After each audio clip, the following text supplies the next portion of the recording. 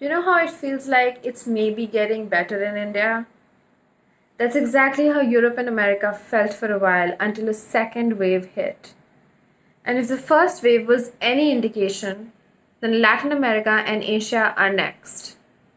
Hi, I'm Pallavi Prasad, and here's what you need to know to stay ahead of the COVID 19 curve. For the last six weeks straight, daily new cases have been declining. The steepest fall came last week. India recorded 16% fewer new infections than the week before. Last week, deaths from the virus also fell by 19%. On Sunday, India recorded 480 deaths, the lowest in three months. There's more. As of Sunday, the number of recoveries crossed 90% of all cases which means that close to 71 lakh people out of 79 lakh people have recovered. Now, it's been exactly seven months since the first lockdown, and while the numbers speak for themselves, experts say that this could be the calm before a familiar storm. Towards the end of August, when the worst was just beginning for India, Europe and Russia seemed out of danger. America had plateaued while holding its position as the worst hit country, and so did Latin America. Cities were reopening, vacations were back on, schools and work had adapted, all with the standard set of COVID 19 protocols and advisories.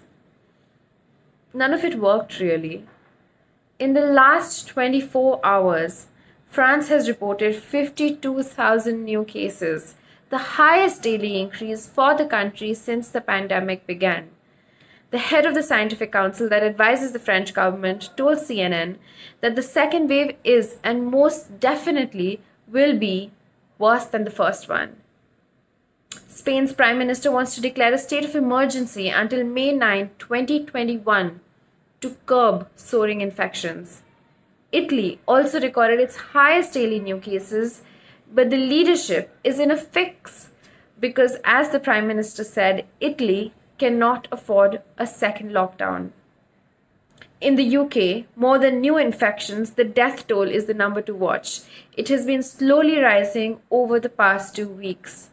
And Wales has rolled the clock back to March 2020 and has been put under a tight national lockdown.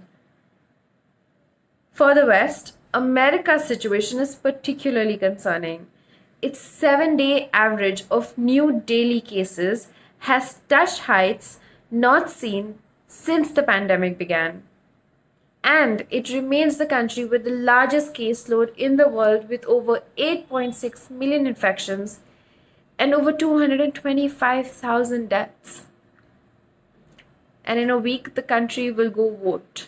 The last lap of campaigning is in full swing with Vice President Mike Pence running for re election on the Republicans' ticket out and about on the campaign trail. At least five people, including his chief of staff and advisor, have tested positive in the last 24 hours. When asked why he wasn't in quarantine for 14 days per the rules, his office said it was because he was essential personnel. But coming back to India now, these developments across the world, they are writings on the wall. For what is to exempt India from a second wave? A festive season when it finally feels like the pandemic is slowing down, colder, stiller air in the winter months, a spike in air pollution, especially in North India. Experts say that the odds are stacked against us and that the essential nature of waves dictates that a second wave is highly likely to hit India. And it's not like the, the end of the first wave, if I can call it that, left us in a very strong position. India is still averaging 764 COVID 19 deaths a day, which is the worst in the world. India is still reporting an average of over 57,000 new cases daily. And though our testing has increased dramatically to close to 1.3 million daily, at 71.5 tests per thousand people, India is still far behind other countries. New cases in Delhi broke a 38 day record for the state yesterday. West Bengal has seen a sharp spike with 4,000 new cases yesterday.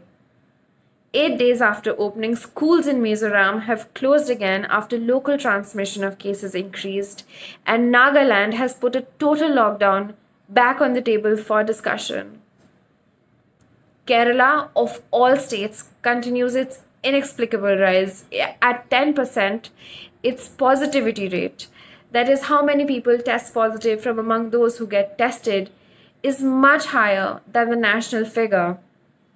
And though new cases in Maharashtra have dipped significantly, it still has the most COVID 19 deaths in the country, even months later.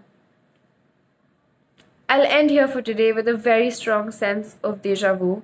But if this COVID 19 bulletin adds value for you, please share. We're also on YouTube. The link to that is in our bio. Thank you so much for your time. Stay safe and wear a mask.